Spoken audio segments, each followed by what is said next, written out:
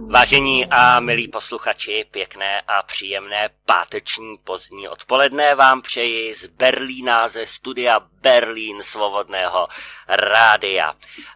Protože ještě stále nemáme studiový telefon, tak bohužel nám nemůžete počas dnešního, počas dnešního vysílání volat, ale můžete nám psát přes náš webový, uh, přes náš webový uh, formulář, který najdete na adrese www.radio.geopolitan.net. Takže ještě jednou to zopakuji.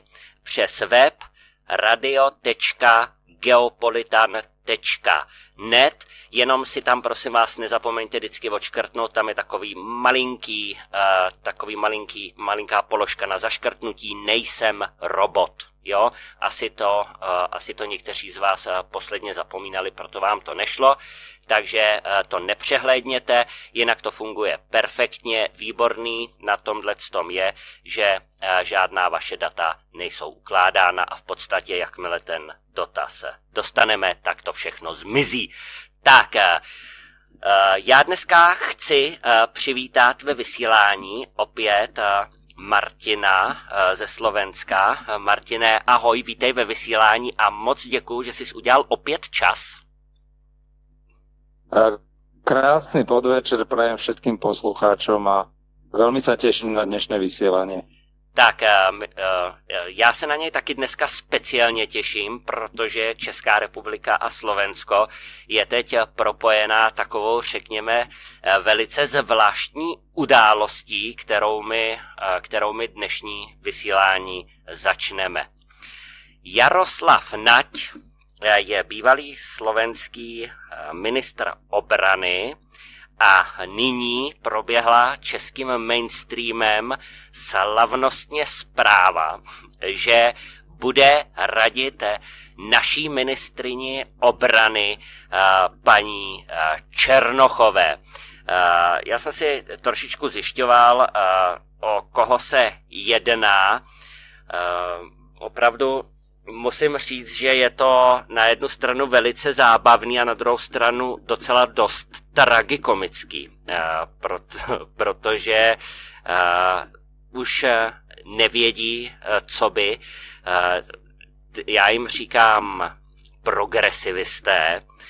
Mimochodem, než Martine nám osobnost nebo osobu Jaroslava Nadě přiblížíš, tak jen řeknu, komu to uniklo čerstvou zprávu, že pěti koalice, respektive pěti demolice, slavnostně oznámila, že eh, půjdou spolu eh, do, eh, do euro voleb, tedy do voleb do Evropského parlamentu. Ten strach, ta nejistota a ta šílená panika, která teďkon u těch progresivistů všech eh, panuje, eh, tak ústí v to, že oni opravdu eh, nejenom, že kolem sebe kopou maximálně, ale oni spojují vše, co spojovat mohou.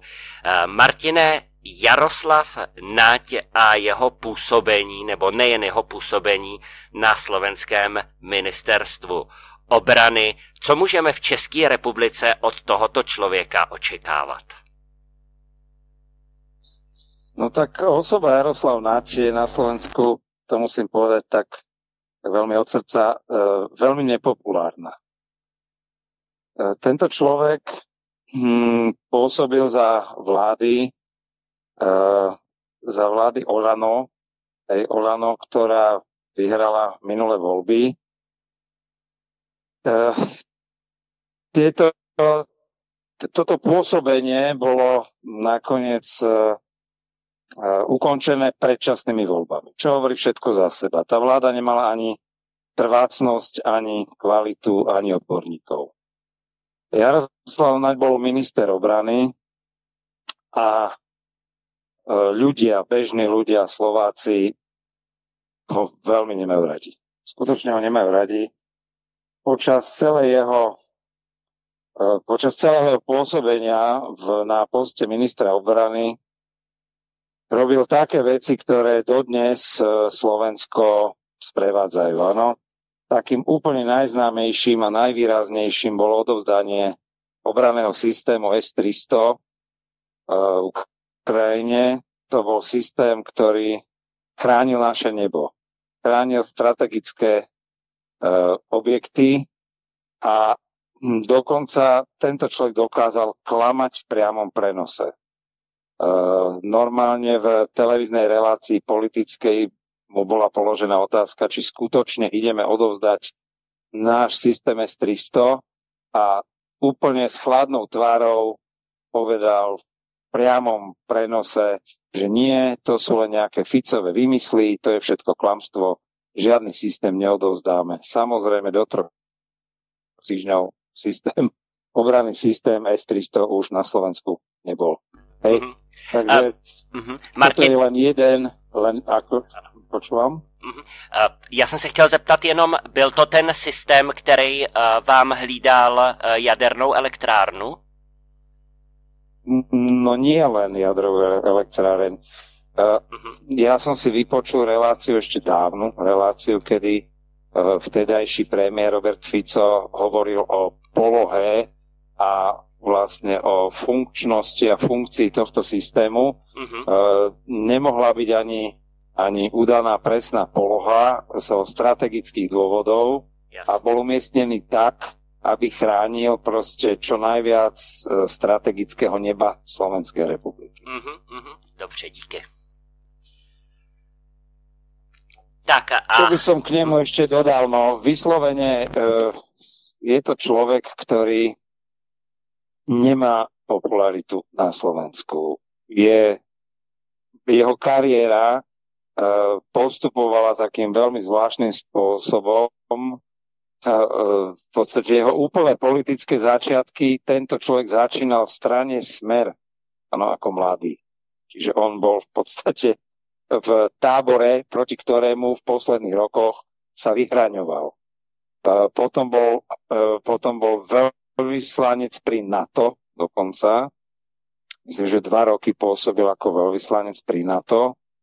No a do poslednej vlády sa dostal cez uh, Oľano, to je vlastne strana Oľano Igora Matoviča, kde bol z neho minister obrany. Uh-huh, uh-huh. Takže se jedná v podstatě o takového politického přeběhlíka. No, to ešte nie je vôbec koniec jeho prebehlickej kariéry, lebo v mhm. úplnom závere, v úplnom závere, keď už aj vláda Igora Matoviča padla, keď už padla aj e, vláda e, Eduarda Hegera, ano, uh-huh. tak tesne pred voľbami prebehol do nového politického subjektu pod názvom demokrati. Čiže v súčasnosti on už pôsobí v strane demokrati, ktorá e, mala byť e, absolútnym hitom posledných volieb. E, do tejto strany sa natlačili také všelijaké postavičky z tohto, nazvime to, demokratického spektra. Oni sa tak strašne radi nazývajú. No a v konečnom dôsledku táto strana prepadla, bol úplný vole, bola úplným volebným prepadákom, získala nejakých 2,8% a de facto je nepotrebná. Ľudia už vôbec, táto strana nemá žiadnu víziu ani budúcnosť. Uh-huh, uh-huh. Dostali se v těchto těch volbách někam do parlamentu, aspoň do opozice, nebo vůbec? Nie, veď mali ne. iba 2,8%, ja, vôbec ja som absolútne nula, nula, nula. Ja. E, dokonca keby som to mal upresniť, tak na Slovensku volebný systém je nastavený tak, že strany, ktoré získajú preferencie vo voľbách nad 3%, tak získavajú aspoň finančný príspevok od štátu. Uh-huh, uh-huh. Táto strana nedostane ani len finančný príspevok. Uh-huh, uh-huh. No takže nakonec... Čo je aj veľmi smutné, je veľmi smutné, táto strana urobila taký marketingový ťah, prepožičala, alebo si slovo demokrati. Hej? Mm. A ja si myslím, že to demokratické a demokrati, oni to ukradli. To, to vôbec nemá nič tým spoločné. títo ľudia urobili vyslovene riskovali, riskovali to, že si prepožičali názov demokratia a mysleli si, že ich to vyniesie niekde do parlamentu. Naopak, na Slovensku stranu s názvom demokrati im dalo hlas 2,8% Slovákov. Uh-huh, uh-huh. Dobře. Co říkali na to slovenský média, na tenhle ten přestup? Protože je to docela neobvyklá, já, já, já bych to vnímal i jako částečně, i když ono to může znít uh, směšně, ale já bych to vnímal i jako částečně vměšování se do uh, záležitostí cizího státu. Uh, principiálně, když bývalý minister jedné země jde do uh, vlastně funkce uh, podřízený ministrovi obrany uh, jiného státu. I když ono jako Česká republika a Slovensko, ono se to asi tak úplně vnímat nedá, ale přece jenom mi to tam tak trochu jako v té hlavě hlodá. Jaký na to máš ty názor? Ešte neviem, či sa úplne stotožňujem. My tu totiž na Slovensku už sme zvyknutí. Mm. Pre vás je to možno niečo nové, ale v minulosti ešte za fungovania Ukrajiny, e, napríklad zo Slovenska, išiel Mikloš a Zurinda na Ukrajinu mm-hmm. pomáhať a radiť v oblasti privatizácie Ukrajiny. Mm. Takže toto sa mi zdá ešte taký relatívne taký menej, menej nápadný prestup, ale minimálne tým by som označil tohto človeka ako vedomostne, že vie, čo treba robiť podľa nôd minimálne Bruselu alebo Ameriky. Mm-hmm. Tak to už dokázal. Uh... Že ho pekne nabrífovali, ho pekne nabrífovali a keďže už na Slovensku nemá k čomu prispieť, keďže je odstavený voľbami, no tak využili túto personu na to, aby ešte s týmito nabrifovanými vedomosťami mohla pomôcť v inej krajine. Jasně. Teda u vás v České republike. Ano. Uh, důvěryhodnost, jak si říkal, tohodle z toho člověka není zrovna teda vysoká, už jenom tím, že přeskakoval uh, nebo přecházel z jedné politické strany do druhé a, a že ta jeho minulost je vůbec taková, jak na houpačce. Myslíš si, že může být paní Černochové v nějakém směru prospěšnej, nebo že by tam mohlo i hrozit takový riziko, že by jednoho krásného dne mohl vrazit pomyslnou politickou kudlu dozad? Že to je všetko mm, v závislosti na tom, aký smer sa akým smerom sa Česká republika bude uberať. Hej? Hmm. Pokiaľ by ste mali byť nejakým, nejakou kolóniou Spojených štátov, tak veľmi pomôže. Ano. Hmm. Dokonca on sa hrdí takými fotkami, ja neviem, s, s americkým ministrom obrany Austinom. On takto ako kariérne vedel vystihnúť, kde má byť. Hej, uh-huh. Takže myslím si, že na také nejaké euroatlantické štruktúry určite má dobrý dosah. Ale pokiaľ vy ako Česká republika by ste chceli vystupovať uh, uh, svojou cestou, i teda vystupovať aj ísť svojou cestou, tak tento, tento človek nie je zrovna tým správnym výberom. Mm-hmm. Dobře. Uh, Martine, uh, ještě k němu mám jeden dotaz. A to ten, jestli náhodou si někde nezaregistroval, čí to byl vůbec nápad, nebo odkud to vůbec vzešlo, že by přešel eh, právě na uh, ministerstvo obrany České republiky.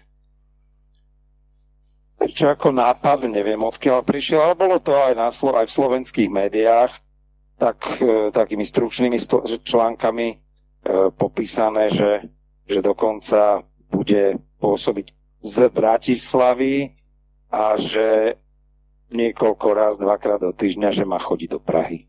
To som hm. len tak zachytil. Hej, ale bolo to dosť tak stručne podané. Aha. taká strohá informácia, hej. Aha, dobře.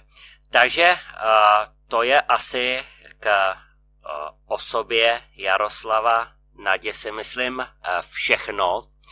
Já jsem vůbec zvědavý, jak se, to, jak se ta spolupráce teda vyvine. A uh, na Slovensku se ale kromě teda uh, tyhle události uh, udávají ještě, nebo dějí ještě zajímavější věci. Přejdeme teď k vašim volbám, které proběhly nedávno a k sestavování vlády.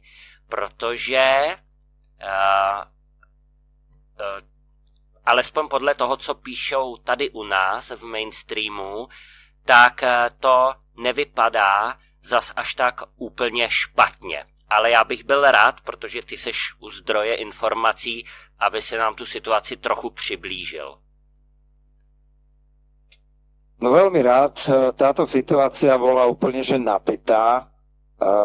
Našťastie došlo k vytvoreniu trojkoalície Fico, to je Smer, Hlas a SNS majú síce nie úplne, že dobrý štartovací výsledok 79 hlasov v parlamente zo 150, čiže vlastne akási rezerva sú iba 4 hlasy, ale našťastie uh, proti týmto progresívnym, progresivistickým sú vo výhode.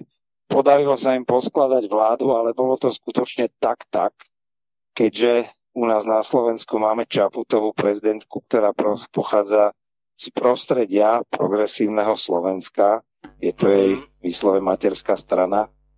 Tak samozrejme snažila sa robiť, čo sa dalo proti vytvoreniu tejto vlády a vyskúšali aspoň taký posledný pokus o zmarenie Uh, skúsim to vysvetliť tak, aby aj naši českí poslucháči tomu porozumeli.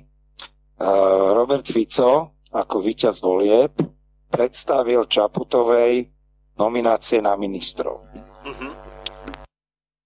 Uh, za normálnych bežných kultúrnych okolností prezidentka má prijať tieto nominácie a vymenovať vládu.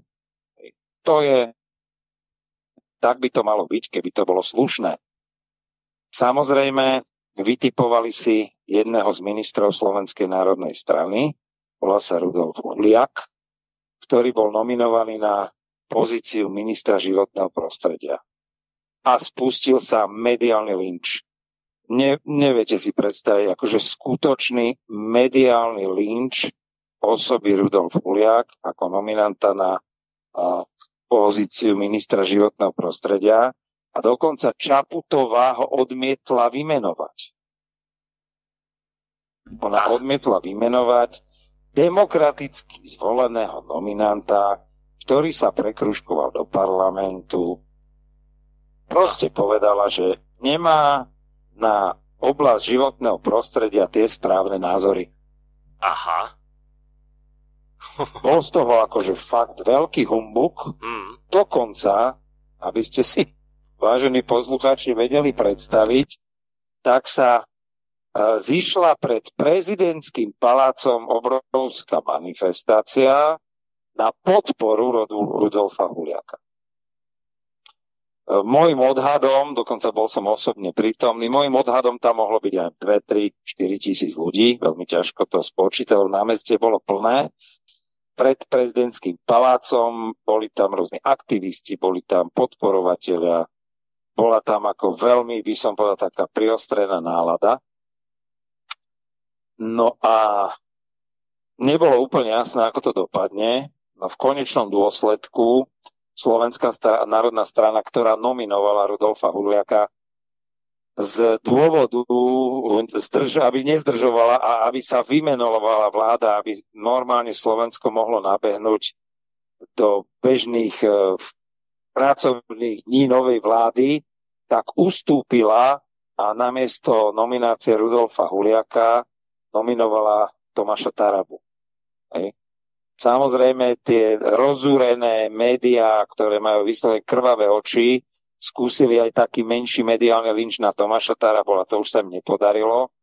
A e, koniec je šťastný, vláda je vymenovaná, čo je akože úplne všetkým sa odlahlo, život ide a už ľudí nebaví tieto škriepky, škrieky, problémy, mediálne linče, proste veľmi nepekná, povolebná situácia, kde sa vyťahujú špinavosti a strany, ktoré prehrali voľby, sa s tým nevedia zmieriť. Vyslovene si predstavte situáciu, že tieto strany nevedia sa s tým zmieriť, ten ich slovník je nepekný.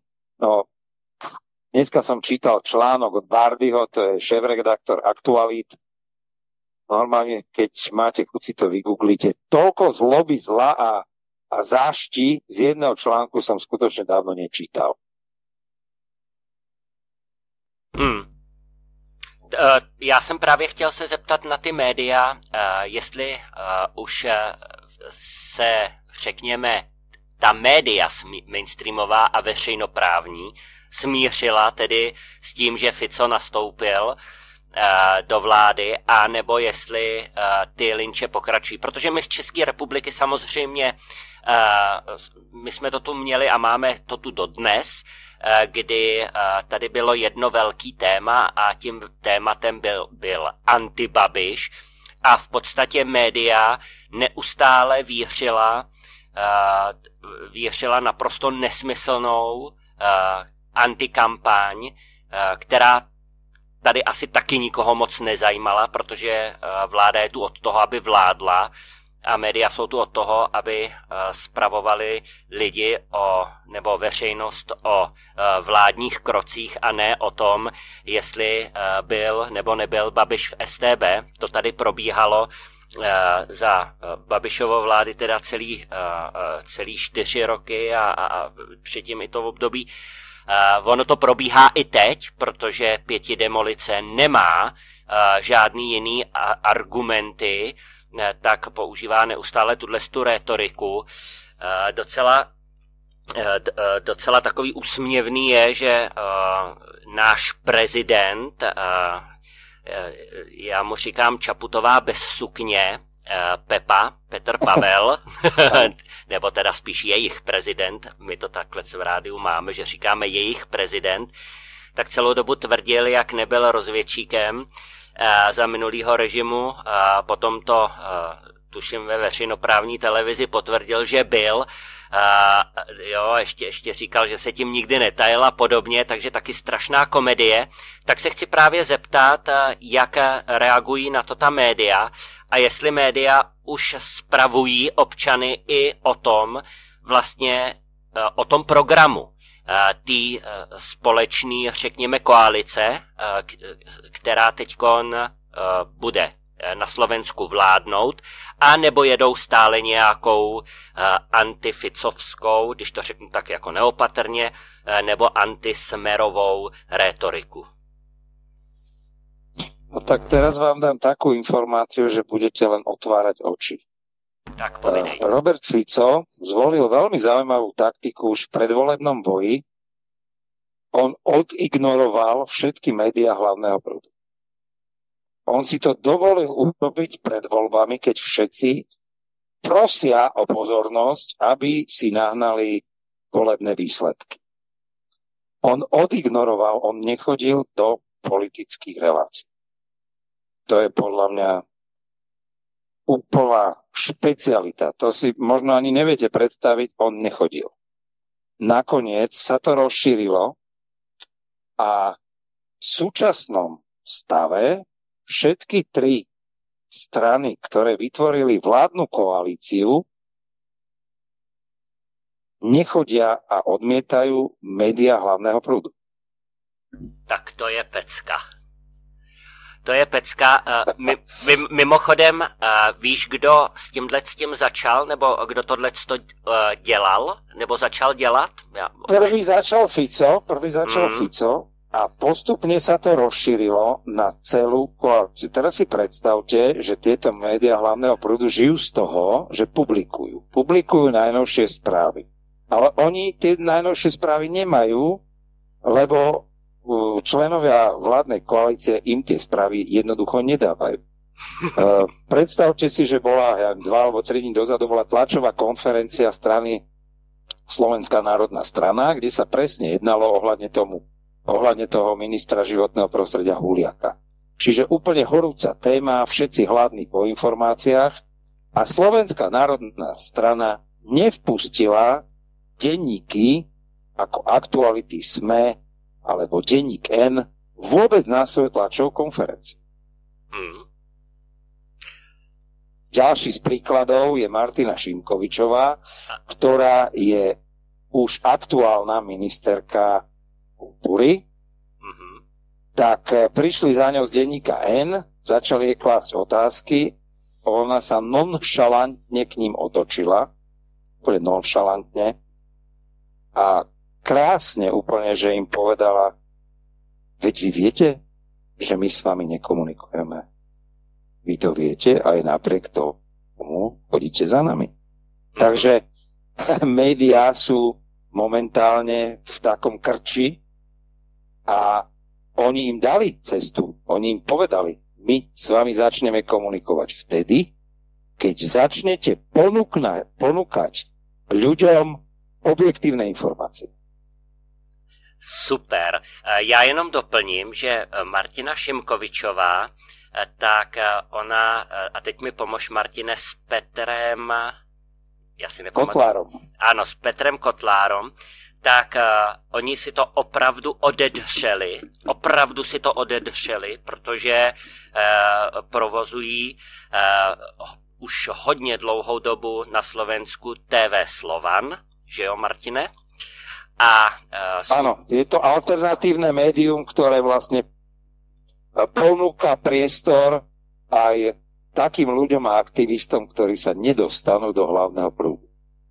Áno. A, mám, mám krásny príklad, mám krásny príklad, aby mm. si to poslucháči vedeli predstaviť.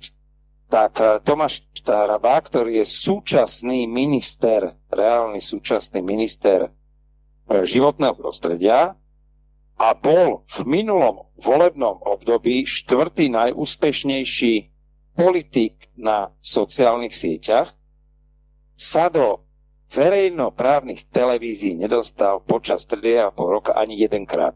Neuvěřitelný. A v televízii Slovan bol 40 krát. Tak, eh, takže tady je vidět i ta důležitost eh, těch alternativních médií. Eh, a samozřejmě já jsem posílal velkou gratulaci a velký pozdrav Martině a Peterovi. Tady to v rádiu můžu říct. A ještě jednou říkám, že oni dva si to opravdu odedřeli a odmakali, takže to nejsou jenom lidi, jak se tak jako mezi lidmi říká, že toužící po korytech, ale oni proto opravdu roky, roky dělali, co mohli. Jinak, Martine, já jsem se dozvěděl, když už se bavíme o TV Slovan, tak z jejich facebookových stránek oni jim banky zrušili účty. Ešte, ja som skôr inú situáciu hmm. postrehol, že oni momentálne, predpokladám, že sú maximálne pracovne vyťažení. Tak to stopro, no. A, ale myslím si, že určite budú prispievať do televízie Slovan, že budú minimálne raz, dvakrát za týždeň vysielať, ale priznám sa, ešte som s nimi, s nimi o tom nekomunikoval, takže hmm. nerad by som zavádzal nejakými informáciami hmm. které nejsou úplně presné. Hej? Jas, jasně. Ne, já jenom, že jsem, že Martina přímo tam právě psala na Facebooku, aby lidi neposílali zatím peníze jim, protože mají zrušený účty, eh, co jim lidi posílali právě dary, takže tohleto, eh, tohleto to mě teda překvapilo. No až budou mít čas, tak můžeme se jich třeba na to zeptat, protože tahle ta praktika, že se nepohodlným spolkům Eh, organizacím a eh, alternativním médiím ruší účty, tak eh, není to nic neobvyklého a nic nového. Já to znám tady z Německa velice dobře, tady je to v podstatě taková zaběhnutá praxe a dělá se to tak, že vůbec, úplně z ničeho nic prostě banka pošle dopis a řekne, my vám vypovídáme bankovní účty, nebo jsme vám je vypověděli, další peníze od toho a toho datumu nepřijímáme a dejte nám vědět, kam, na jaký jiný účet prostě ten, ty finance, které tam jsou, tak přeposlat. Nazdar. Takže e, to, je to takový způsob nejenom msty, ale takový i způsob vlastně, jak zkomplikovat prácu. Ano, ano, ano, ano, ano. Takže tohle to jsem chtěl jenom teda pro, pro doplnění. Dobře, Martine, ale u vás se toho děje opravdu velice hodně a to řekněme i na té celoevropské úrovni. Naše média tuzemská naprosto šílí, vyšilují a jsou až hysteričtí z toho, že eh, Fico se v uvozovkách strašně kamarádí s Orbánem, s Viktorem Orbánem, maďarským prezidentem. Uh, ty jsi mi před uh, vysíláním, nebo včera to bylo, něco zmiňoval o návštěvě uh, Roberta Fica uh, u, von der La, u, u, von der Leyenový a oni něco psali teda i u nás mainstreamový média málo, ale v podstatě nic podstatného. A já jsem si všiml i tiskový konference Roberta Fica, kde teda tu situaci uh, nebo tu návštěvu taky uh, nějakým způsobem popisoval. Já bych byl rád, Martine, teďkon, kdyby si to opravdu co nejdetal, nejdetailněji a vlastně našim posluchačům vysvětlil, o co šlo, proč byl Fico v Bruselu a co se všecko kolem toho vlastně rozvířilo. Protože na to se těším úplně nejvíc. Myslím, že táto, táto informácia bude jedna z najšokujúcejších informácií dnešného večera. Áno. V rámci slovenského parlamentu máme výbor výbor pre európske veci. A keďže z opozície sú najsilnejší títo progresívci v zastúpení Šimečku, Šimečka ich predseda strany, tak tento Šimečka ako podpredseda parlamentu novozvolený zvolal tento výbor. A samozrejme, tým, že Robert Fico mal okamžite ako nastúpil za premiéra plánovanú návštevu do Bruselu, tak e, sa chcel Šimečka ubezpečiť, že či Robert Fico bude na tejto ceste do Bruselu držať e, rovnakú zahraničnú politiku Slovenskej republiky. Robert Fico prišiel na tento výbor, čo v podstate nebola ani plná povinnosť jeho, ale prišiel tam a mal odpoveď tomuto Šimečkovi. No táto odpoveď stojí za pozretie zase odporúčam, pokiaľ máte chuť, posluchači, to je prejav štátnika. On dal takú odpoveď Šimečkovi, že sa z toho rozvírila mediálna úplná e, senzácia. V skratke, Robert Fico drží svoje predvolebné sluby, pričom v, predvolebných, v predvolebnej kampani stále opakoval, že pokiaľ vyhrá voľby, jeho vláda prestane posielať vojenskú pomoc Ukrajine. Včera, alebo včerom, keď, to, keď bol výbor, tak odpovedal Šimečkovi presne toto isté. Že jeho vláda prestáva posielať vojenskú pomoc Ukrajine, samozrejme, čo sa týka humanitárnej pomoci, bez problémov.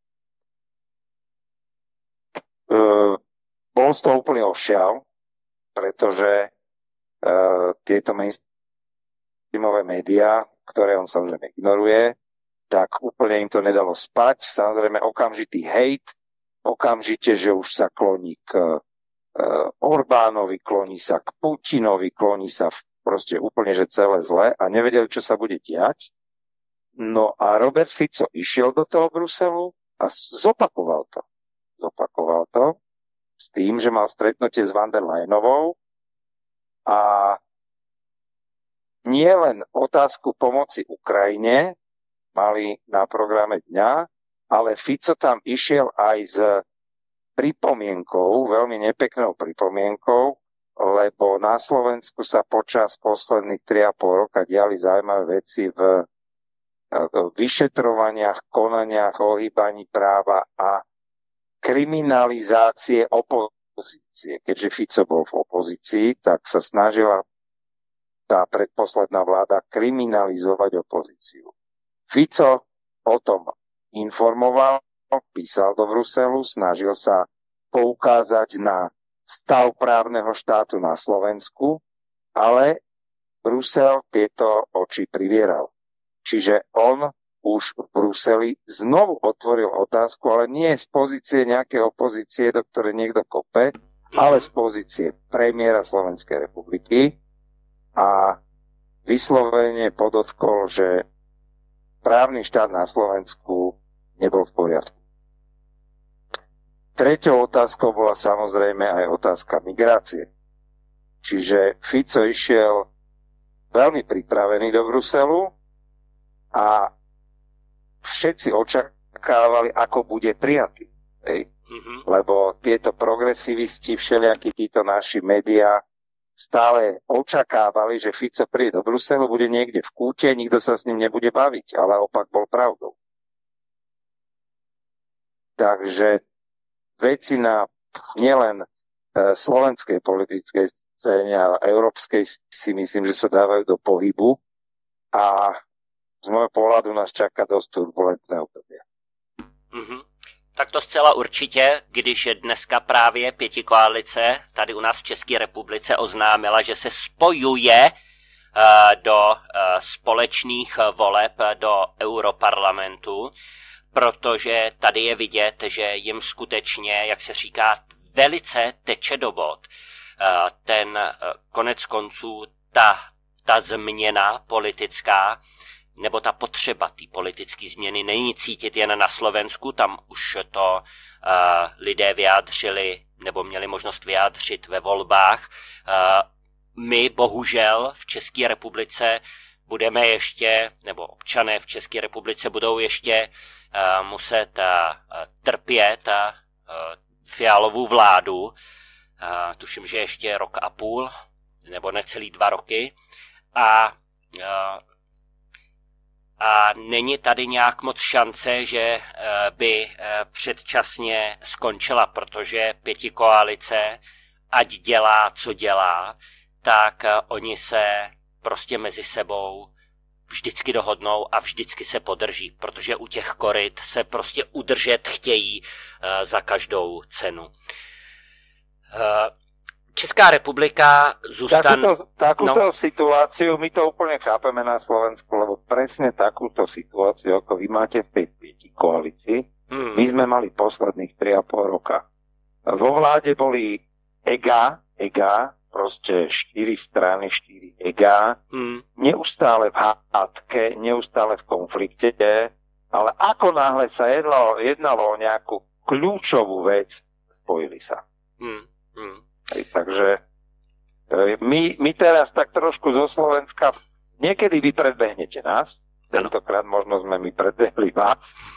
Máme taký, taký zdravý, zdravú súťaž, no ale teraz my sa toho nášho pár dní, by som povedal, ukludneného Slovenska v rámci politickej moci pozeráme na tú vašu stranu, kde by ste si to tam aj vy mohli už trošku pratať. Áno, No, my si na to budeme muset ještě bohužel počkat. Velká nevýhoda je ta u nás, že eh, když budou eurovolby, tak stále bude pravděpodobně pěti koalice u moci.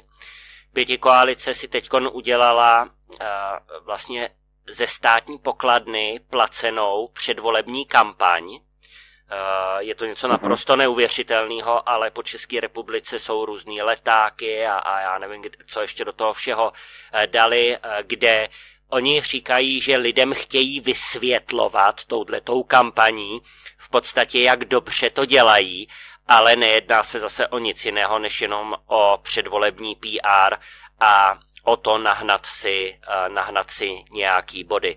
Protože ty volby do Evropského parlamentu budou naprosto klíčový. Já jsem to říkal minule, říknu to teď a budu to opakovat velmi často do těch voleb, protože ten budoucí Evropský parlament mimo jiné bude uh, mít obrovský vliv na sestavení i budoucí, uh, Evrop, budoucích členů budoucí Evropské komise. A z toho mají progresivisti samozřejmě obrovský strach, poněvadž eh, pokud se jim do vedoucího orgánu, já jsem chtěl teď říct do nejvyššího sovětu, nevím, proč mi to, ne, nevím, proč mi to přišlo, nevím, proč mi to přišlo na paměť, ale prostě oni mi fakt jako připomínají, že jo, ta Evropská komise tím jejich no, arrogantním... paralelu je aj vidět. Ano, ano. Takže takže oni budou mít obro, ten uh, nově vzniklý Evropský parlament bude mít samozřejmě obrovský vliv na sestavení uh, nebo na volení těch členů té Evropské komise.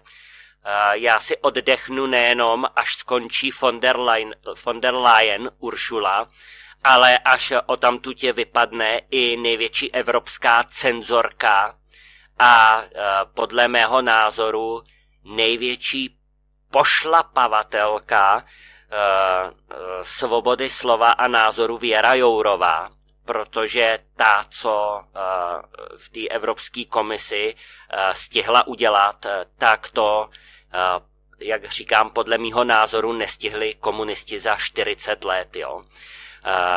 Takže jako ten Service Digital Act a když kryla eh, záda uh, Lejnový, když se Lejnová přes SMSky domlouvala s Borlou z Pfizeru obrovský několika milionový kontrakty na dodávky vakcín. A Jourová tehdy prohlásila, že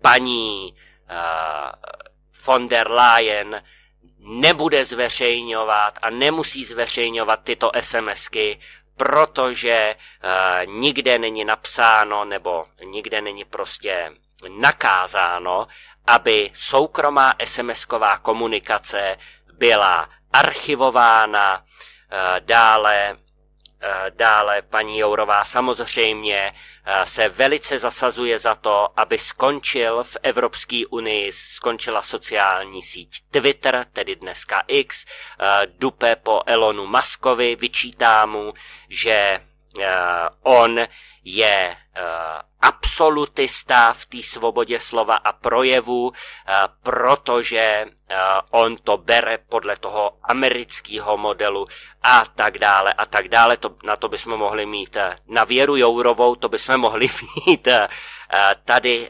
vysílání. Jedno relaci, ano, ano, jedno samostatné vysílání, takže to ponecháme být, ale zpátky teda k těm eurovolbám.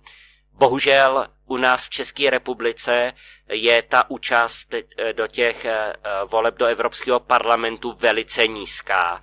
A eh, my v rádiu budeme dělat všechno pro to, aby jsme tu, tak jako jsme to dělali už při těch posledních eurovolbách, tak aby k těm volbám do Evropského parlamentu šlo co nejvíce lidí, co nejvíce lidí protože tyhle volby budou naprosto zásadní. A já bych byl opravdu velice nerad, kdyby kvůli České republice a jejich nevoličům potom byla oslabená e, nějaká frakce v Evropském parlamentu jako e, ID a, a myslím, že tam je ještě jedna, e, se kterou se dá relativně mluvit. Takže takže to jenom teda k těm uh, volbám do Evropského parlamentu. Martine, zpátky k Robertu Ficovi. Uh, dostalo se mu nějaký odpovědi od Urzuly von der Leyen, anebo uh, zůstal... Nie, ane... oni, oni mali priamo stretnutie, čo som bol veľmi prekvapený, mm. lebo mm, Fico je premiér pár dní mm-hmm. a stretnutie mali, čiže von der Leyen si na ňo čas urobila, čo som veľmi prekvapil. Samozrejme tieto uh, výsledky tých jednaní uh, sa podľa mňa budú um, obnážovať alebo zverejňovať neskôr. Samozrejme oni mali nejaký ten rozhovor medzi, ja neviem, štyrmi ale Fico tam išiel s jasnými, uh, by som povedal, témami a tie témy odprezentoval. Takže keď že naše mainstreamové médiá majú teraz trošku blokádu v informáciách. tak uh, teraz je, áno. Hmm? Napríklad uh, skúsi predstaviť, že zverejnil člena, no, no, mená, Robert Fico zverejnil prvýkrát mená uh, nominantov členov novej vlády na svojom facebookovom profile. On im proste tie informácie nedá. On im ich nedá. Títo, tieto mediálne prestitútky, ako ich my tu voláme, mm-hmm. tak neustále do ňoho útočia, robia mu zlé, robia mu proste zvuk. Stále uh, prekrúcajú. No, úplný vzor vzorov, vzor vzorov článku dneska Bardy Aktuality, to normálne ten článok, to je taká, opakujem sa, ale to je taká žlč a zlosť, že keby ste vy, vy boli Robert Fico a si takýto článok prečítate, tak je úplne logické, že takémuto, uh, takémuto redaktorovi už vôbec článok neposkytnete, alebo interviu mu proste neposkytnete. Uh-huh, uh-huh. Takže to... ten robot to robí dobre. robí to prekvapený, som normálne prekvapený, že až ako ďaleko zašiel. Uh-huh. Pozitívnym smerom samozrejme. Hej? Uh-huh. Já jsem z tohohle z toho taky docela překvapený, protože já, když jsem se tě ptal, kdo vlastně tohle to začal dělat jako první, já jsem neměl na mysli jenom Slovensko, ale globálně celý svět, tak tu ignoraci eh, nebo to otočení zády k, k mainstreamovým médiím, tak to začal dělat jako první Donald Trump ten eh, potom, co na něj dlouhodobě útočili, tak jednoho dne prostě řekl a dost a přestal, eh, přestal vůbec do mainstreamových médií, médií chodit. Takže ono se to začíná stávat takovou velice zajímavou praxí a je to praxe velice účinná a dobrá, protože v momentě, kdy, eh, jak se říká, přestanou protože to jsou terče, eh, vlastně eh, terče těch dehonestací a pomsty a těchto těch věcí, jakmile jim přest, jakmile přestanou krmit tohle nemocný zvířátko, kterým mainstream a veřejnoprávní média jsou, tak oni končí. Oni končí. A nemusí se o to... No, on ani... dal šancu. On, on, im, ano. on im dal šancu. Pokiaľ si nastavia zrkadlo a začnú písať objektívne, tak je cesta otvorená. Ale pokiaľ budú propagandistické články a na toto vymielanie mozgov, tak mm. a píšte si, čo chcete, bude vám klesať čítanosť, bude vám klesať sledovanosť, budú vám chodiť menšie peniažky, peniažky, vtedy, keď už chodia menšie peniažky, tak vtedy už si snad uvedomia, že hops, asi sme to prepálili. Uh-huh, uh-huh. Uh, je, to, uh, je to přesně tak, jak ty říkáš. Ono, tohle to třeba pochopili německý mainstreamový média v době covidu, kdy jim úplně brutálně klesly uh, příjmy z reklam, což bylo jasně daný, a uh, německá vláda tehdejší, tak eh, jim nabídla, že buď budou psát jenom pozitivně o německé vládě a o té jejich politice a dostanou nějaký státní jakože dotace. No a když nebudou, tak nedostanou nic. No tak Bild uh, uh, jako první, co udělal, tak odkryl ten obrovský podvod s těma covidovejma lůžkama jak to bylo nadhodnocený a jak se tam, jak se tam prostě, wow. ono, jak se tam odklánějí miliony a, a, a, a jak, jak v podstatě těch nemocných a úmrtích není vůbec tolik, kolik úřady tvrdí a tak dále. Byl z toho tehdy obrovský skandál.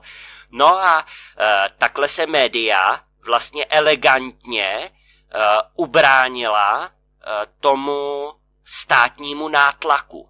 Jo? Uh, ono těch cest je samozřejmě víc, ale bylo to taky daný tím, to, co si teď teďko říkal, nebudou peněžky, uh, tak si to rozmyslete. Takže ano, pokud na ty média uh, v podstatě vznikne finanční nátlak a uh, ohrozí to jejich příjmy, tak potom oni uh, uh, potom oni otočí a občas i tu pravu, pravdu eh, tedy řeknou. Takže to jenom tak jako pro srovnání, jak to eh, v těch médiích funguje. Dobře, Martine, prosím tě, eh, jak to vypadá s budoucím vývojem na Slovensku, co se týče volebního programu té Ficovo vlády?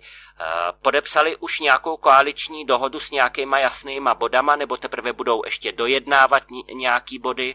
Eh, a jaký vůbec je ten směr? U nás je to hmm? opačně, u, na, u, u nás je to opačne, u nás sa najskôr podpisovala koaličná dohoda, hmm. najskôr si našli samozrejme partnerov, potom sa podpisovala koaličná dohoda, potom prebehli nominácie na ministrov a potom e, sa predkladala návrh prezidentke. Tam samozrejme musela urobiť nejaké čoro moro, aby to nebolo také jednoduché. Jasne. Nakoniec to našťastie prešlo, poverila Roberta Fica zostavením vlády a ministri sú na svete. Čiže my už teraz máme našťastie vymenovaných ministrov, ktorí už sú vo svojich funkciách a e, veľmi zaujímavé je ministerstvo vnútra, ministerstvo mm-hmm. vnútra je veľmi záujem, lebo u nás máme už 3,5 roka za obdobia tej neschopnej vlády, ktorá tu vládla, ktorá aj padla, ktorá sa niekoľkokrát menila, tak sa nám tu vytvoril taký nešvár a volá sa to, že vojna v polícii. Mm-hmm. Ako náhle nie je pevná ruka, ako náhle nie je taký, aký má byť, tak sa nám stali také veci, že sú tu rôzne skupiny policajtov, ktoré akoby v rámci polície bojujú proti sebe. A keďže uh, je nový minister, je, nové minister, je, uh, je vlastne nové vedenie policie sa práve vytvára, tak uh, to staré vedenie odchádza.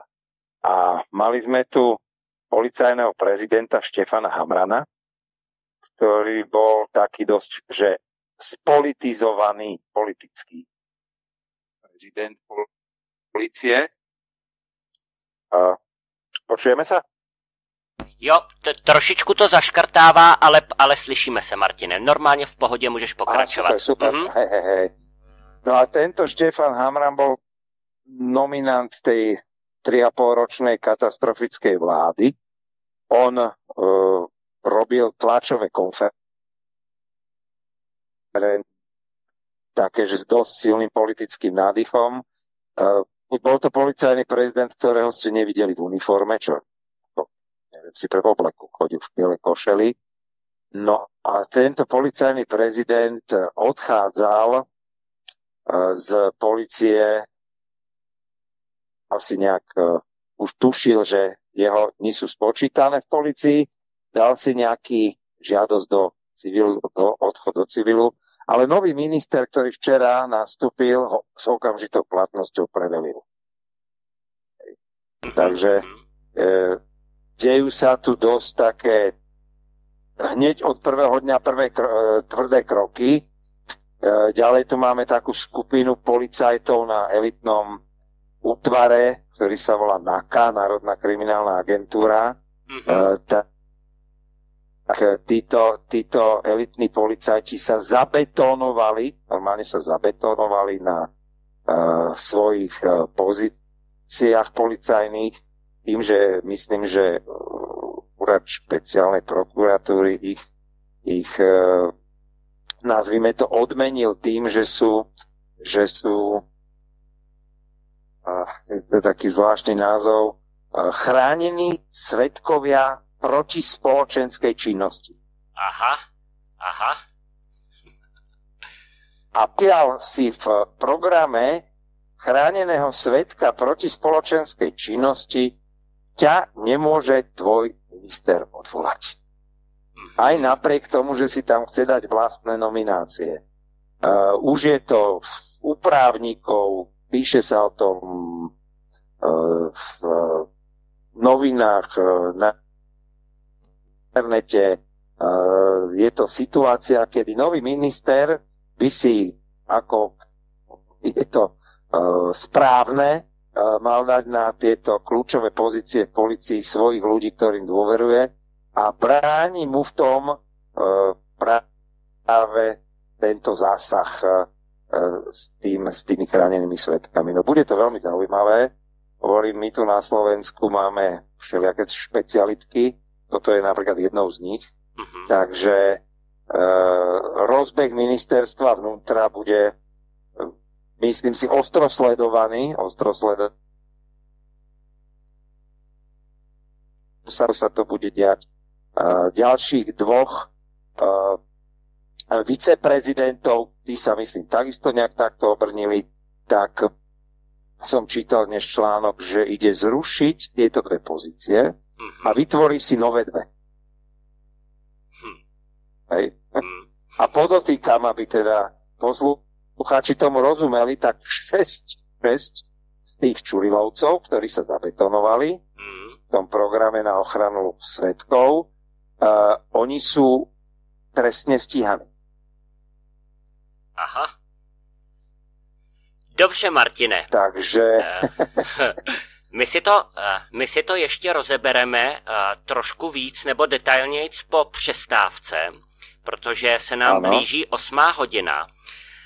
Teď nám ke konci si trošičku na milisekundy vypadával, takže my půjdeme teď na 15-minutovou přestávku, já tě odpojím od Skypeu a zavolám ti ve čtvrt ano. na devět a budeme pokračovat. Dobre. Třeba se nám ten signál trošičku zase zlepší, ano?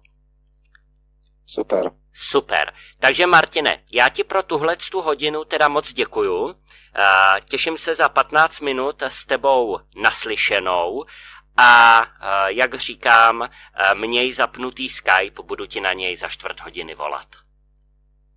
Dobre, zatím. Tak, tak zatím. Tak.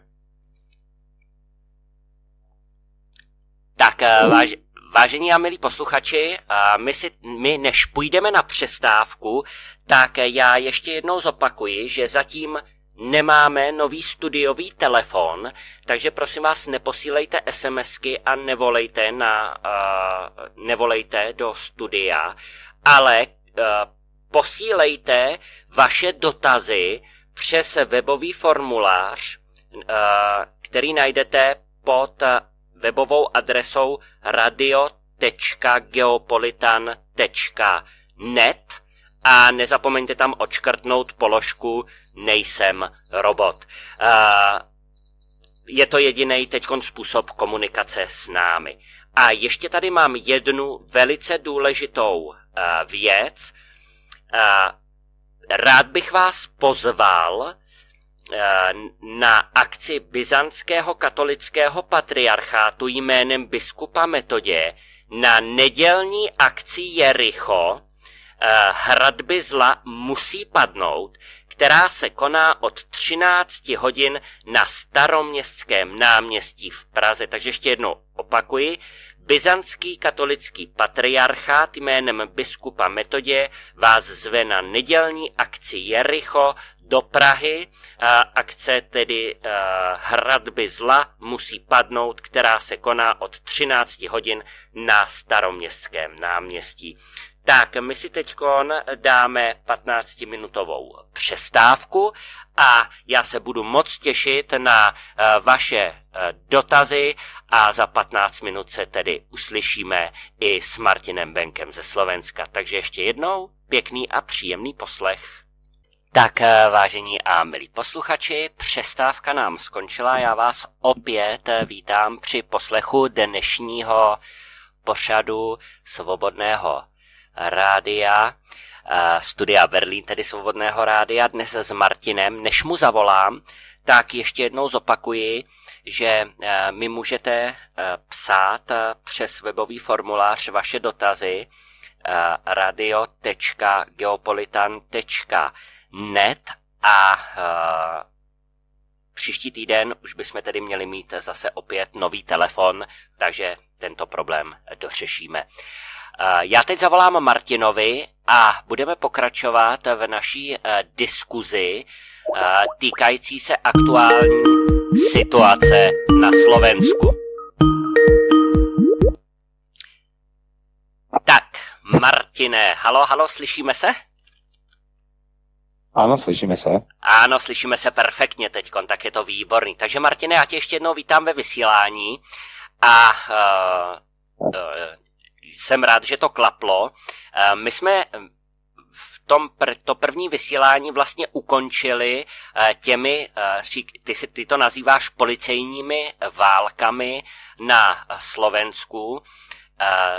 Já se tě jenom chci zeptat, Eh, aby si, nebo tě chci poprosit, jestli bys byl tak hodnej a připomněl bys, co se vlastně dělo těsně před volbami eh, v souvislosti s policií a tuším, že to byly nějak tajné služby, eh, kdy se tam do sebe nějak pustili, protože mě už to úplně vypadlo z hlavy a ať teda máme takový nějaký ucelený přehled. No skúsil by som začať úplne od začiatku. To bude nejlepší.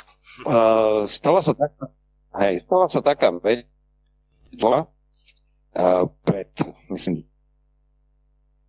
urobila, urobila vyhlásenie, uh, v ktorom podrobne popísala, ako sa manipuluje s svetkami, ako sa manipuluje s vyšetrovaniami a ako sa manipuluje s súdom a súdnymi rozhodnutiami. Toto vypísala Slovenská informačná služba. Na to e, sa e, stretli vtedajší, vtedajší e, ministri za vlády, ešte to bola vláda Igora Matoviča, a dokonca na tomto stretnutí bola prítomná aj Čaputová, prezidentka. A bol z toho veľký problém a na dospelo do štádia, že sa táto správa Slovenskej informačnej služby čítala aj ako v parlamente v útajom režime pred poslancami Slovenskej národnej rady.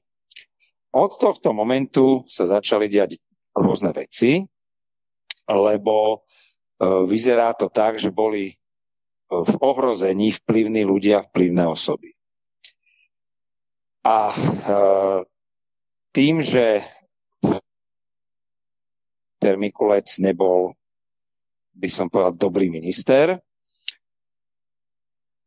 tak v jeho rezorte, do ktorého spadajú rôzne zložky, ako napríklad tá NAKA, aká to je ten elitný útvar policajný, tá držala jednu stranu. Potom na druhej strane inšpekcia, policajná inšpekcia, úrad držali inú stranu. A, a tajná služba do tretice tretiu stranu. si pri týchto štátnych zložkách boli určité skupiny, ktoré akoby išli po sebe. Hej? Čiže napríklad na inšpekcii uh-huh. tá vytvorila uh, skupina uh, oblúk a táto skupina mala za úlohu vyšetrovať a sledovať a monitorovať vyšetrovateľov z Národnej kriminálnej agentúry.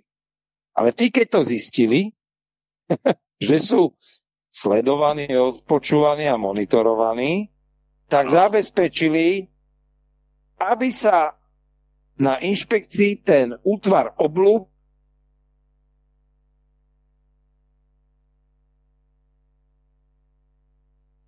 Tak, uh, Martin. Čiže z tých uh, Národnej kriminálnej agentúry sa stali takí protežovaní, by som po, oni sami seba nazvali, to je v odposluchoch, že my sme chráňa zver.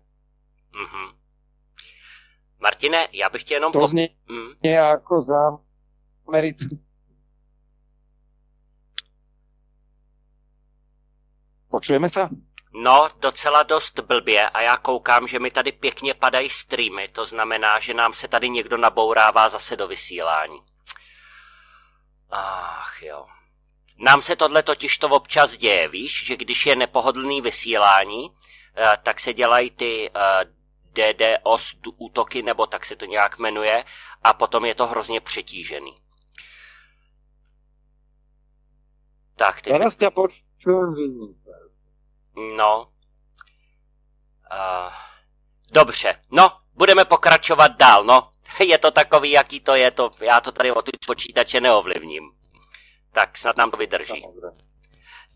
Takže... No vlastne od, od toho obdobia začali tieto, hm, ako to na Slovensku volajú, začala táto vojna v policii, ktorá trvá takmer dodnes, hej, mm-hmm. lebo keď, keď si to premeníme na drobné, tak presne nástupom nového ministra e, vnútra, ktorý mal prísť do úradu, kde po predchádzajúcom ministrovi vnútra všetko klape, všetko funguje, všetko ide ako má, tak presne opakom je pravda. Prav... Prišiel do úradu a teraz musí riešiť, ako si on sám, minister vnútra, má vymenovať vlastný tým ľudí, s ktorými chce spolupracovať. Čiže my tu máme dosť takú situáciu, ktorá je ne, nezávi, ne, nezávidenia hodná. No ale teraz už v podstate musíme urobiť len to, že počkať, ako sa nový minister uh, Šutaj Eštok, to je jeho meno, sa s tým popasuje. Uh-huh. Dobře. Inak uh, hm? to ti spomenul, lebo, lebo sme, reláciu sme začali s tým Jaroslavom Naďom. Áno. A pri, v, priebehu, v priebehu ešte nášho rozhovoru som si spomenul ešte na také ďalšie kauzy z jeho obdobia. Tak jednou z kauz jeho ministrovania bola kauza MIGov. Slovenská republika mala svoje, svoje MIGy lietadla, ktoré chránili jej vzdušný priestor. A tieto migy sme uzemnili. Úplne nelogické, ale v poriadku, veď asi niekto si za tým stojí a možno časom sa za to bude aj zodpovedať. Takže migy, ktoré mali chrániť náš vzdušný priestor, tak zrazu boli akoby nepoužiteľné, boli pripútané na zem, niekde v hangároch a tvárili sme sa, že sú tam akože zbytočným šrotom. Hej? Uh-huh. Úplne popis našich migov bol, je to zbytočný šrot, nemá ho kto servis, investovať. Je to tam niekde v podstate nadbytočné, nejaké na odpis. Uh-huh. No a presne tohto sa kopil Jaroslav Naď, ktorý tieto migy nakoniec daroval Ukrajine. Uh-huh. A co má Slovensko Úplne. těch migů? My nemáme nič. Náš vzdušný priestor momentálne po nejakej takej vzájomnej dohode e, strážia Češi, Poliaci a Maďari. Uh-huh. Výborný. Máme objednané F-16, tie nám nejak Lockheed zatiaľ nedodal, už sú v sklze, neviem, či tá výroba to trvá dlhšie, ale pokiaľ sa jedná o aktuálny momentálny stav, tak my teraz žiadne lietadla nemáme. Ale vrátil by som sa k tomu Naďovi. Určite. On vlastne tieto stíhačky dá veľmi zaujímavé, že väčšina z nich odletela po vlastnej osi. Uh-huh. My keď preváža po železnici, ale to, Naď vtedy vydal nejakú takú tlačovú informáciu, že my za tieto migy dostaneme 150 miliónov eur. Tým chcel akoby uh, ospravedlniť alebo akoby povedať, aký vy robili. No ale samozrejme, zase to nebola pravda, čo je úplne bežné. Bežné, keď niečo povie tento človek. Tak uh, za tie migy sme v konečnom dôsledku žiadnych 150 miliónov eur nedostali.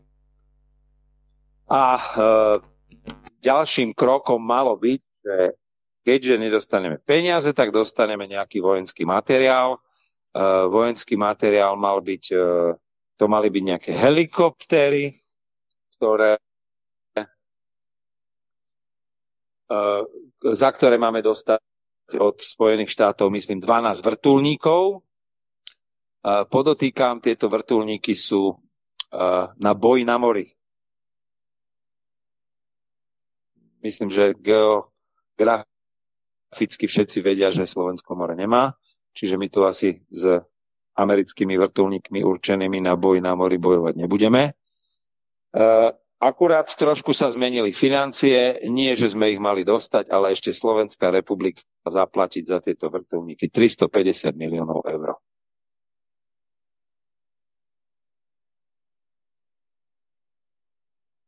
Halo, počujeme sa? Ano, ano, slyšíme se. No a potom bola ďalšia kauza tohto Jaroslava Nadia. Uh, tu viem len tak akože bežne, lebo to som, to už je dávnejšie, ani ma to až toľko pojalo. Uh, ešte v predo, predošlé vlády, myslím, Fica objednali nejaké osemkolky, tiež vojenský materiál. On tento tender zrušil a v konečnom dôsledku, toto hovorí pravdepodobne, lebo nemám to úplne načítané, tie isté osemkolky kúpil, ale drahšie. Uh-huh. Uh, Martine, u nás to... Tak... Mm, u, u nás to u nás to není o nic lepší. Uh, my jsme kupovali americký, já nevím, jestli to bylo za Černochový nebo za koho, ale vím, že jednou naše ministerstvo obrany nakoupilo vrtulníky americký, ty vrtulníky americký v podstatě neměli kolečka, měli jenom lyžiny, takže nepoužitelný, muselo se to tam nějak domontovávat nebo co. Teďkon, ale největší bomba jsou teďkon F-35 v České republice, to je Evergreen, protože F-35, který jsou mimochodem Eh, který jsou mimochodem, eh, tuším, že eh, třikrát tak dražší, než co je dostal, za, za jakou cenu je dostal Izrael, tak tak my máme první dodávku těch F-35 dostat víš v jakém roce podle vyjádření našeho pana premiéra Fialy? Až v roce 2035. tak to, to vám akože zavidím. Uh, možno v tom čase už bude F-72. Možná. uh, jo, takže, uh, takže ono samozřejmě je to, uh, ono samozřejmě uh, je to prašť jako uhoď, akorát vy máte teď tu výhodu, že snad už tam budete mít na těch ministerstev, ministerstvech moudřejší lidi, než máme my. Takže to je k tomuhle tomu. Dobře, že si vzpomenul ještě toho, toho Nadě, protože jak koukám, tak je to opravdu expert na slovo vzatý. Martine, jestli nemáš ještě něco pro doplnění, tak já bych se měl na tebe další dotaz, který asi bude hodně zajímat i naše posluchače. Ešte, ešte mám taký... Povídej. Mám ešte horúcu, úplne horúcu novinku. Teraz som videl, dával Fico v Bruseli novinárom uh, odpovede. Normálne novinári si ho tam v Bruseli odchytili. Uh-huh. A skutočne drží líniu, skutočne drží líniu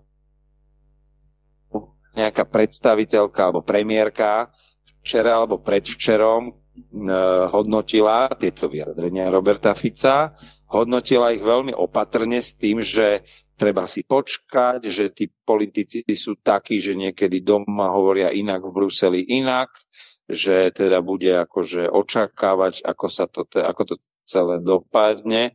A skutočne musím povedať, je to spred 5 minút, ak sme mali prestávku, tak som si to akorát pozeral, tak Fico drží líniu, odpovedal presne tými istými um, vetami, že Ukrajine neposkytne Slovenská republika už zbranie alebo nejaké zbraňové systémy a budeme im pomáhať výhradne humanitárnou pomocou. Hovoril o tom, že vlastne ide zima, že kľudne radí, ako Slovenská republika pomôžeme v rámci nejakých uh, humanitárnych uh, dodávok, ale určite nie so zbraňami.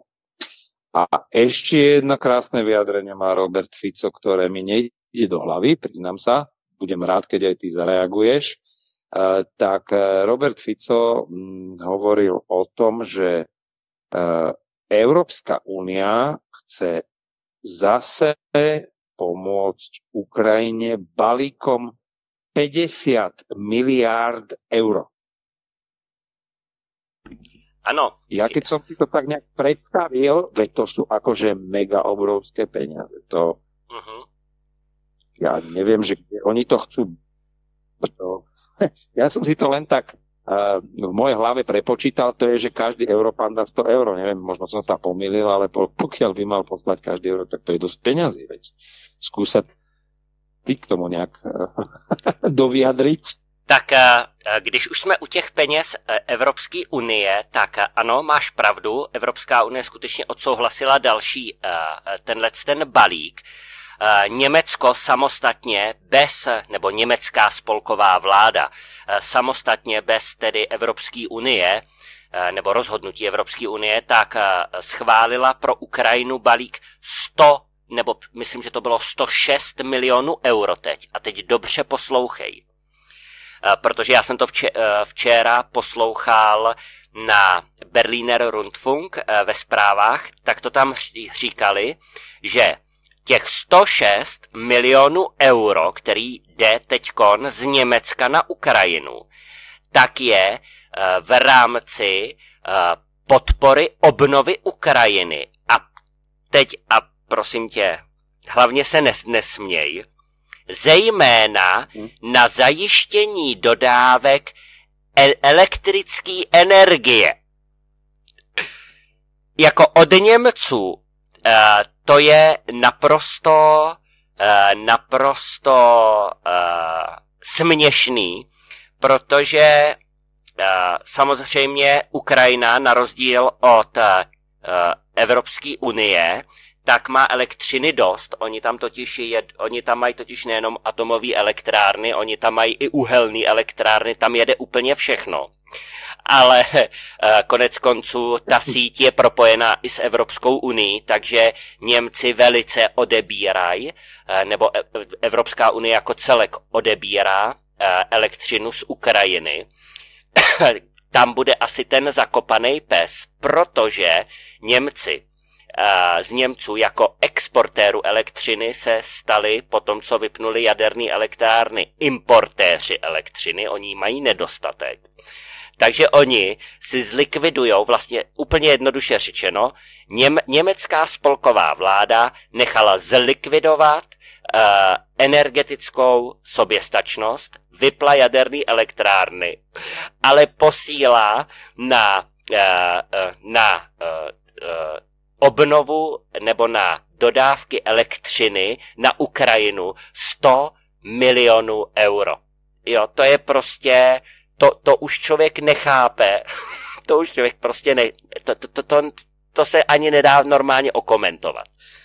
Každopádně, uh, těch 50 miliard, oni to, uh, oni to uh, uh, opět skrývají pod, to, pod ten pojem obnova Ukrajiny. Jo.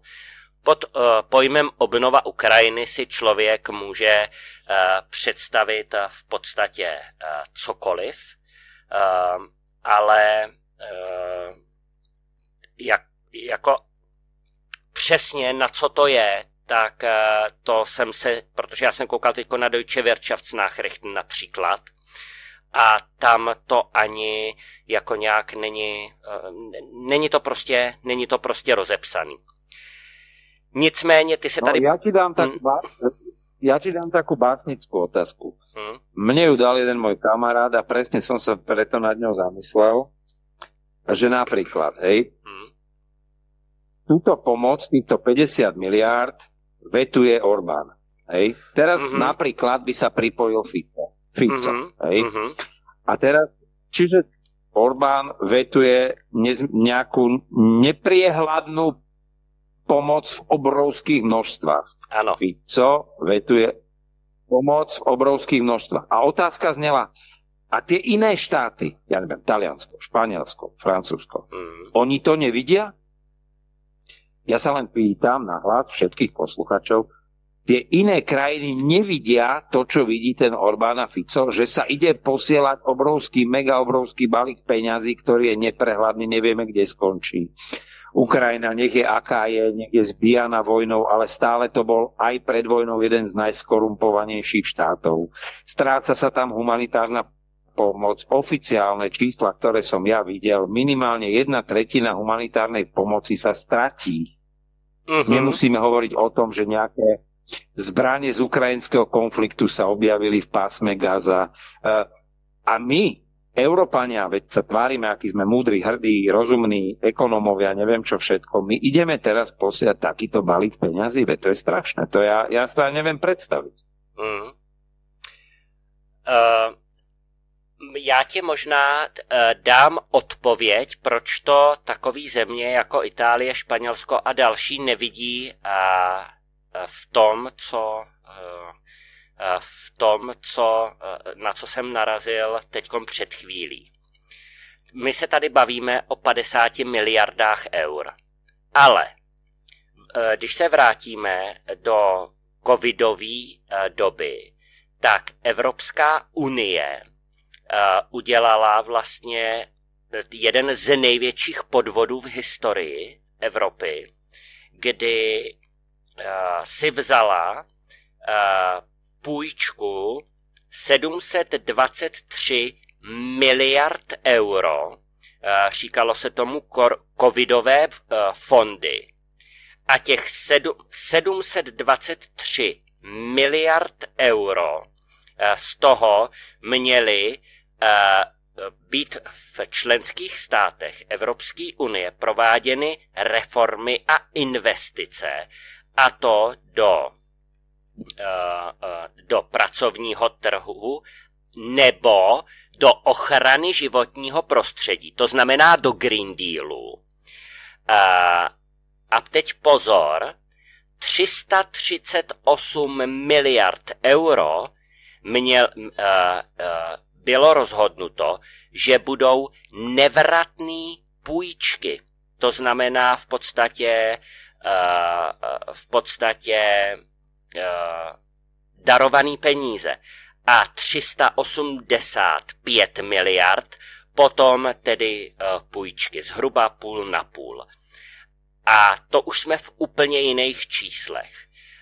Co je, ale kam tím mířím? Já tím mířím tam, že ten podvod tady s tou půjčkou, kterou Evropská unie provedla, tak ho provedla tím způsobem, že proti pravidlům Evropské unie eh, v podstatě eh, eh, se za, zaručila všechny státy, nebo donutila všechny státy, aby se za, te, za tu obrovskou půjčku těch 723 miliard euro, aby za ní prostě ručili, což Eh, respektive Evropská unie, aby za to ručila, což nesmí. Jo?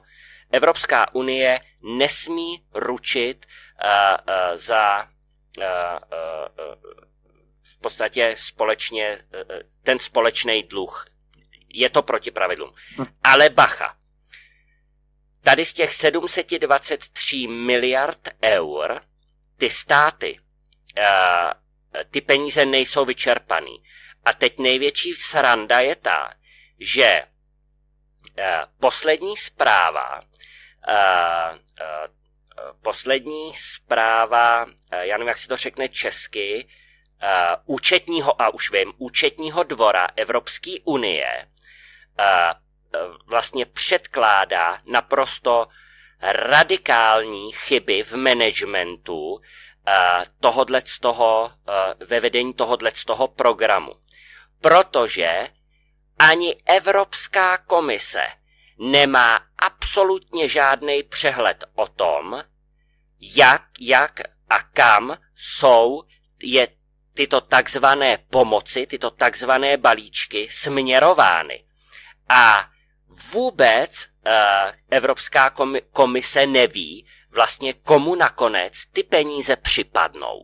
Takže my za ty peníze, za ten obrovský balík těch 723 miliard euro spolu ručíme, ať Česká republika nebo Slovensko. A Evropská komise eh, v čele teda s Urzulou von der Leyen ani neví, kam ty peníze jdou a kde ty peníze končej. Eh, a co se s těma penězma dělá. Eh, samozřejmě, že Itálie je ekonomicky eh, samozřejmě na tom špatně, stejně tak jako Španělsko a další, a oni jsou závislí na těchto těch takzvaných programech Evropské unie. Proto, když se jedná o, teď to řeknu nadneseně, nějakých 50 miliard eur pro Ukrajinu, a e, e, přitom se jedná o zrovna o takzvaný pomoci pro Itálii e, ve výši 100 e, miliard eur, no tak je jasný, že ta Itálie bude držet pusu. Jo? A o tom to celý je. Takhle ta Evropská unie prostě funguje. A ty peníze, ty si půjčou od Mezinárodního měnového fondu, od, cen, eh, od ECB, Evropské centrální banky a eh, eh, v podstatě nás tím zadlužují a tak dále, to už nemusím tady nikomu vysvětlovat. Takže tohle to by byla taková logická odpověď na to, na co ty si se vlastně, vlastně ptal. Oni, oni si tam tí byrokrati v tom Bruseli sedia a, ma, a tieto toky obrovských peňazí sa tvária, ako keby to boli rohlíky, alebo ja neviem, 5 korún, to je neuveriteľné. To, to je neuveriteľné proste, hej. Akože Slovensko, malá krajina, e, e, s prepačením e, druhá od konca v nejakom my sme naj, druhá najchudobnejšia krajina v Európskej únii a ešte nás idú zadlžovať za to, že oni si rozflákajú 723 miliard. Tak akože... Jo. Uvidíme, ktorým smerom to pôjde, ale tak e, my tu máme teraz také úplne malinké svetlo nádeje, úplne malinké svetlo nádeje, že pokiaľ ten Fico naozaj dodrží, naozaj dodrží, to je akože alfa omega celého toho, čo hovorí, tak e, keď sa e, pospájajú tieto menšie krajiny, ktoré sú brané uhuby, ako sa to hovorí na Slovensku, že by sa spojil Orbán, Slovensko, možno, že tam u vás v Čechách tiež to nejak vybojujete tým lepším smerom, lebo tam tá pieti koalícia, keď to čítam, počúvam, to je akože jedna tragédia, tak snáď len nejakým postupom času, času a zdravým rozumom a možno nejakým ekonomickým pohľadom sa z tohto marazmu časom dostaneme, ja verím.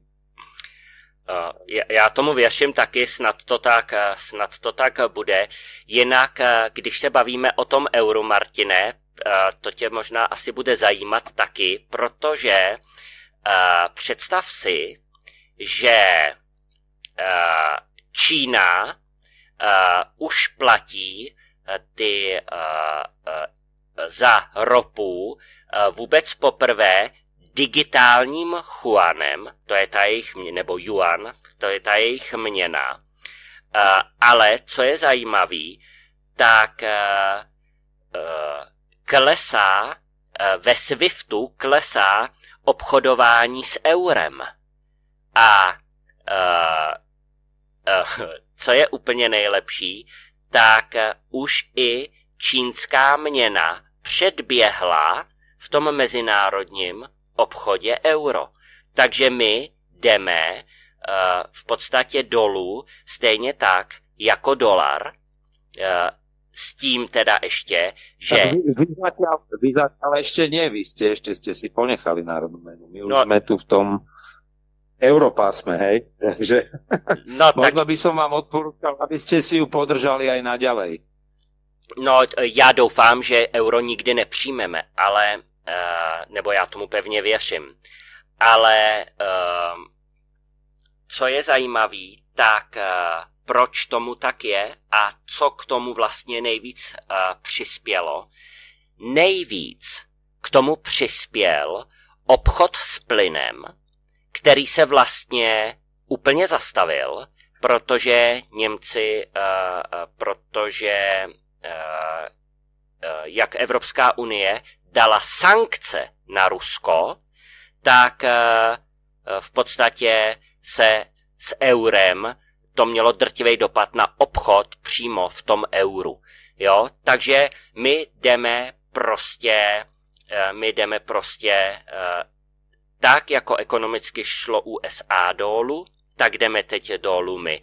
A mimochodem, ještě jedna novinka, největším dovozcem nafty do Evropské unie je víš jaká země? Je to Indie. No to Ano, je to Indie. Ano. Je, je, to, je to Indie a samozřejmě, že uh, uh, to pochází z ruských surovin, že to bylo jasný už od začátku, takže o tom není pochyb. A uh, tolik teda asi k tolik teda asi k takovému tomu obrazu, co se globálně teďkon, uh, teďkon uh, děje. Ještě tady jsem narazil na jednu takovou uh, takovou zajímavou zprávu, Eh, protože Slovensko opravdu čekají, eh, řekněme, dost takový perný časy a to v souvislosti s Evropskou komisí, protože eh, ty Evropská komise samozřejmě nebude šťastná, není šťastná z toho, že u vás vyhrál Fico, tak teď třeba taky aktuální zpráva, že Evropský parlament požaduje uh, uh, požaduje kvůli údajný uh, soudní reformě v Maďarsku, uh, tak aby uh, Evropská komise stopla Maďarsku 13,5 miliardy uh, euro, uh, vlastně, který, na který má Maďarsko nárok. Jo. Takže tohle to je E, to je taková to, je to, co prostě Slováky taky čeká. No, e, Evropská komise a no, Evropský parlament vydírají. Jednodušene, možno, áno, môžu nás dovydierať, môžu aj Fica dovydierať, e, tam myslím sa jedná hlavne o tie peniaze z plánu obnovy, uh-huh. plus možno nejaké eurofondy tak e, najlepšie vydieranie, ekonomické vydieranie, nejaké peňažky vám pozastavíme a povolíme vám vtedy, vám ich pustíme, keď zrazu zmeníte názor obratom o 180%. Toto sa dá očakávať. Uvidíme. E, Fico je dosť silný štátnik, e, takisto poslucháčom odporúčam si pozrieť, keď bol Fico u Putina, tak vôbec nejednali spolu v rukavičkách asi, ja neviem, pred desiatimi rokmi, keď bola nejaká plynová kríza. Takže uvidíme, že či bude mať tú energiu, silu a chuť pokračovať v takých tvrdších jednaniach. E, bol na to sám Orbán, už má aj Fica a bodaj by niečo podobné sa udialo aj u vás v Čechách a e, s tými Poliakmi je to ťažšie, ale nejaká tá vyšegrádska štvorka, pokiaľ ako tak fungovala, mala slovo v Európe a vždycky sa inak chovali aj títo bruselskí bruselskí z, čo sú to ja nemám na nich pekné slovo. Áno. Hej, k, radšej som si kusol do jazyka. E, k tej vyše, vyšegrádskej štvorke sa úplne inak chovali, keď bola pokope, ako sa chovajú k jednotlivým jej členom. Hej, samozrejme, my tu máme takú krásnu z Veľkej Moravy svetoplukové prúty, pokiaľ sme spolu a držíme, tak je ťažké nás ohnúť. Hej, ale keď nás rozdelia, tak potom si s nami robia, čo chcú. Uh-huh. Uh, Martine, uh, ještě jedna věc, která se týká Ukrajiny, protože samozřejmě, nevím jak u vás, ale tady v Německu se velice živě diskutuje otázka vstupu Ukrajiny do Evropské unie. Jak, jaký stanovisko vstupu Evropský, uh, uh, Ukrajiny do Evropské unie zastává Fico?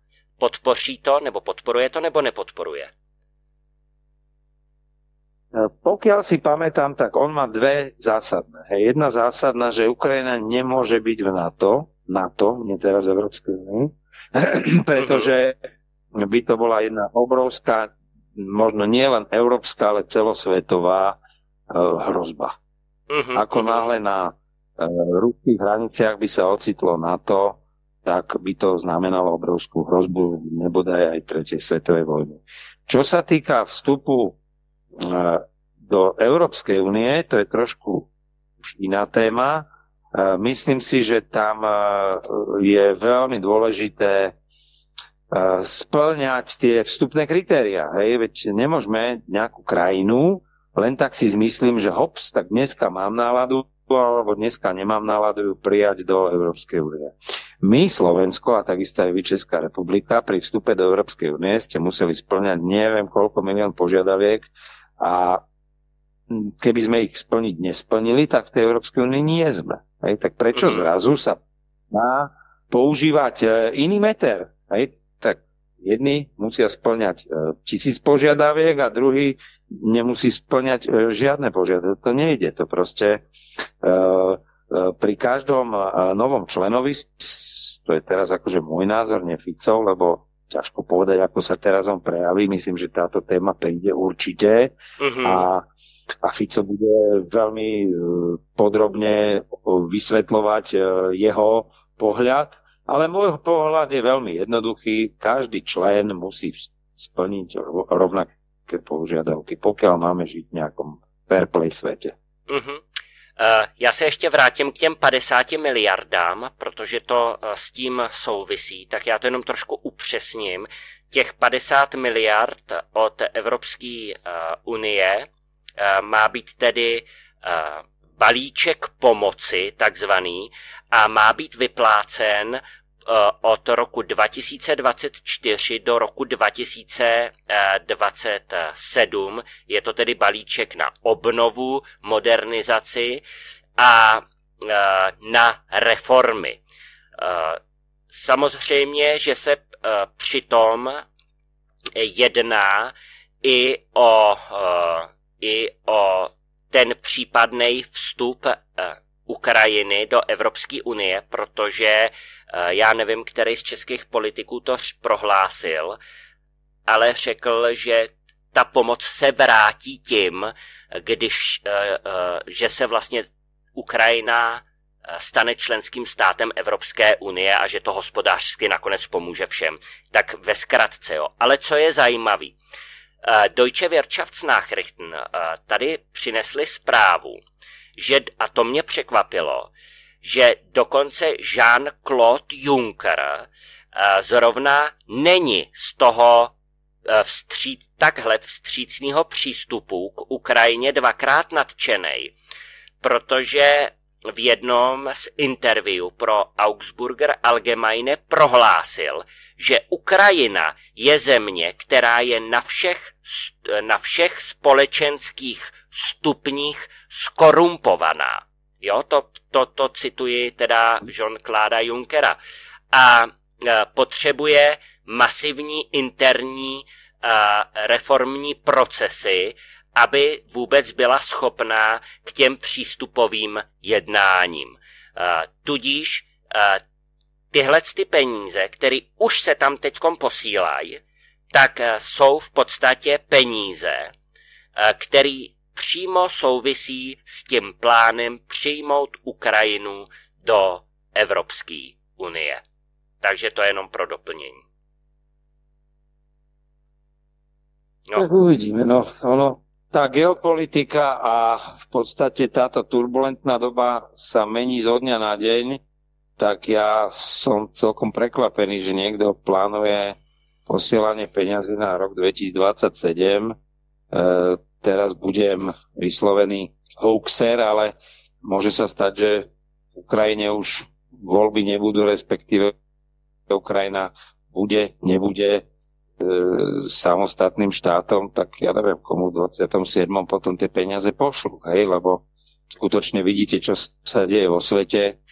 Teraz e, vyletel konflikt v pásme Gaza, do toho máme Ukrajinu, tu v priebehu mesiaca, pol roka e, vznikajú konflikty, ktoré sa nám všetkým nepáčia, ktorí všetci by sme najradšej žili v kľude, miery ale vidíte, deje sa také veci, ja, ja neviem, akože tieto plány 50 miliard európskych peňazí posielať niekam, e, no bolo by fajn, keby to už konečne niekto zastavil a začali sme sa v prvom rade starať o seba, v prvom rade, lebo my na Slovensku skutočne by sme aj potrebovali pomôcť aj finančne, aj ekonomicky, aj s nejakými, s nejakou rozvojom infraštruktúry, neviem s čím všetkým, ale momentálne je situácia, že pomáhame všetkým naokolo, takže, takže tí ľudia tiež, tí bežní, obyčajní ľudia tiež už e, by rádi videli, že to je nielen dávaj, ale niekedy aj trošičku aj, že malinko ber. Áno. Je to, eh, Martine, přesně tak, eh, jak ty říkáš. Eh, uvidíme, jak se teda bude dál ta politická situace vyvíjet. Já doufám, že, že u vás na Slovensku teda jenom dobře a počkáme si asi už na ty volby do Evropského parlamentu, protože ty budou pro směrova- směrování Eh, Evropské unie naprosto, naprosto zásadní. I kdyby, ne, eh, řekněme, nevyhrály ty eh, euroskeptické strany, tak budou tam mít rozhodně takovou sílu, že takovýhle rozhazování peněz, dotování úplně nadbytečných neziskovek, ta, ten korupční lobbying, který na půdě Bruselu probíhá a tak dále a tak dále, že to alespoň nějakým způsobem, nějakým způsobem budou brzdit. Ještě, protože máme ještě asi dvě minuty, tak, eh, Martin... Ešte spomenul som mm-hmm. ty na veľmi zaujímavú ešte vec, ktorá určite bude našich poslucháčov zaujímať. Keďže teraz Robert Fico je vyslovene akože sledovaná osoba číslo jedna, tak eh, jeho eh, vyjadrenie vo vzťahu k neziskovým organizáciám je naozaj že veľmi zaujímavé. Bude sa ano. vám veľmi páčiť. Robert Fico sám priznal chybu. Sám sebe priznal chybu, že v minulosti chcel byť kvázi za dobrého, ešte jeho vlády dávno, dávno. A tieto neziskové organizácie bral ako nie a v rámci aj rôznych rezortov, ministerstiev dávali týmto neziskovým organizáciám dotácie. Peňažné, finančné. A súčasnosti, teraz dobre počúvajte, v súčasnosti úplne otočil a odkazuje všetkým neziskovým organizáciám, že pokiaľ budú chrániť prírodu, pokiaľ budú pomáhať ľuďom, je to všetko v poriadku. Ale pokiaľ budú chcieť robiť politickú činnosť, tak nedostanú ani korunu a odkazuje im, že pokiaľ chcú robiť politickú činnosť, nech si založia politické strany. Tak, výborně. Martine, uh, máme posledních 30 sekund, takže já ti moc děkuju, uh, že jsi uh, uh, s náma dneska vysílal. Zůstaň, zůstaň mi prosím tě ještě připojený. A vážení a milí posluchači, uh, já se s vámi loučím a ve středu se s vámi budu opět těšit na slyšenou. Dovidenia a ďakujem za počúvanie. Tak, takže to byl Martin Venko ze Slovenska.